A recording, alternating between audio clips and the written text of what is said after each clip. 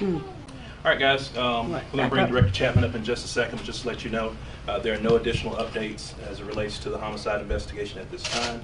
Uh, We're here to support Crime Stoppers today, and bring Director Chapman up.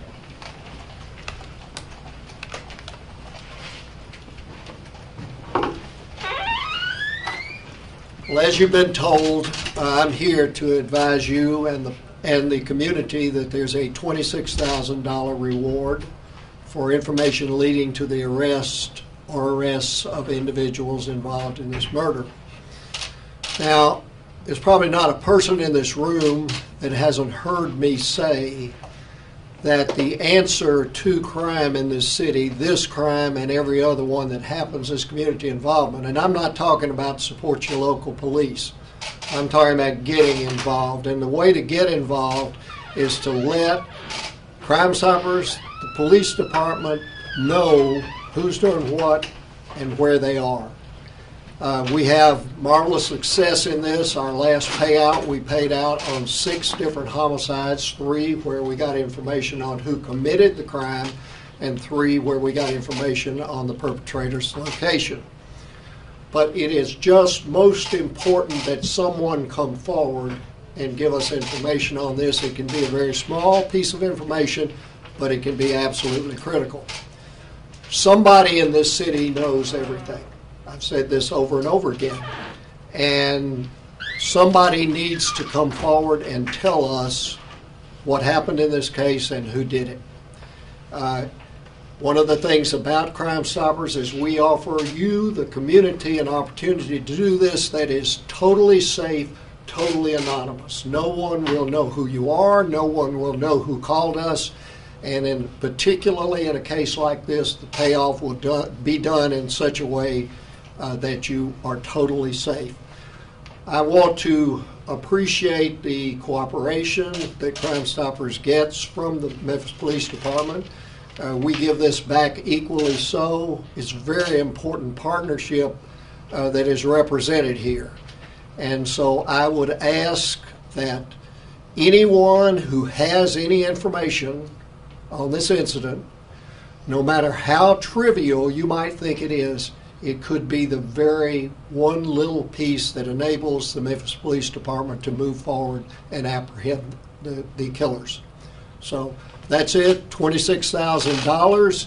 Uh, this is the third 26 in a row. Uh, as most of you know, we paid 26,000 in the murder of Layla Washington. We paid 26,000 in the case of Susan McDonald. So uh, it's a lot of money, and someone could have it in their pocket if they'll give us that information we need. What kind of tips have you been getting so far? Have you gotten a lot of tips? I, it- to my knowledge, we haven't gotten any tips because it hasn't really been on the street yet. Uh, someone might be have that answer right now. I don't think we've gotten any tips or any calls. What is, can you confirm that it's um, twenty-five thousand dollars worth of donated? 25 donated from private sources. Crime Stoppers pays a thousand on any homicide. Who are those private sources and what's the interest? We never reveal the source uh, of funds that we get uh, unless the donor particularly wants that uh, promoted. Uh, This came from a variety of sources, I'll tell you that. Are, are you guys wanting to put it out there that you're kind of desperate for some type of lead? No, uh, we, it is a very prominent case. I think one of the things that we simply must address in this city is these predatory groups that go around where they think people are who have valuables, who have money, who have valuable cars. Uh, this is not the first case. You could uh, you could take uh, Phil uh, almost identical circumstances. So what we're saying is the quicker these people are taken in, the better it is. But no, we're not particularly desperate. We're always very anxious to get citizen cooperation, citizen involvement, and that's what I started my remarks out addressing. You talked about groups kind of pred, you know, being predatory. Is that what you believe happened in this case? As we had heard maybe a car. I don't have any details on this case, but just from having looked at it and read about it in the media, that would appear to be what it is. And as I say, in that it's not the first case of this type that we've had, And we all know, we see what happens on Beale Street, we see what happens any venue where a large number of people are gathered. You're subject to have individuals who will prey on that. Is it possible the, the award could go even higher if, you know, time goes on and there, there isn't a tip? Well, in the case of Layla Washington, it didn't get any higher. It started out at 26 and stayed at 26. Uh, I would say we would review that down the line depending on what sort of information we get.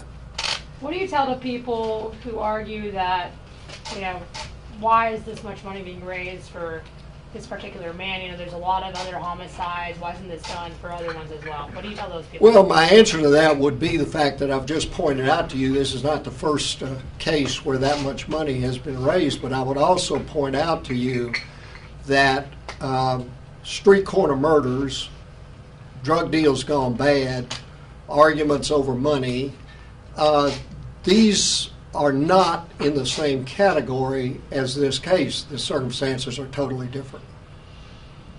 Okay. Can you, um, again, just stress to the viewers the importance of the smallest tip? How long of a way that could even go for the police department? Well, it, it, it, it goes the whole way because so often an investigation, the one small thing uh, will lead to something else. And I guess in the case of Layla Washington, I could give you an example of that, uh, that they knew what happened, but they didn't know who was involved.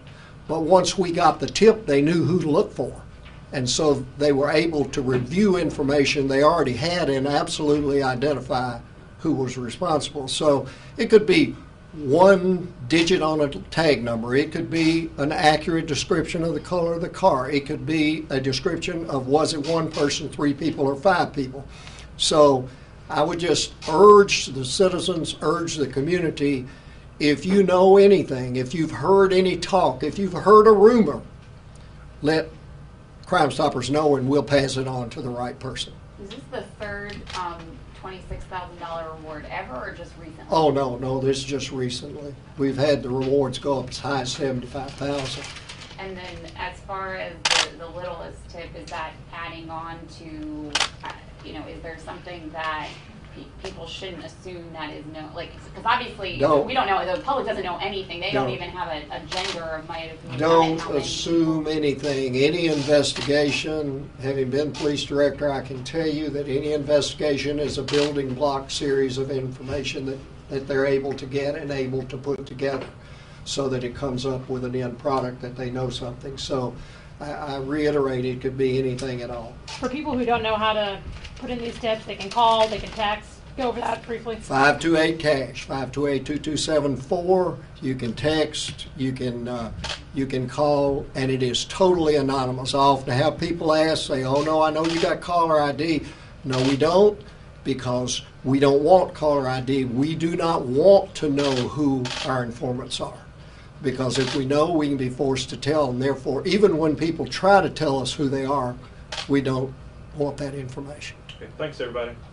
And when there Thank are you. updates, we will share them uh, via social media, all right? Thank you, Director Chapman. thank you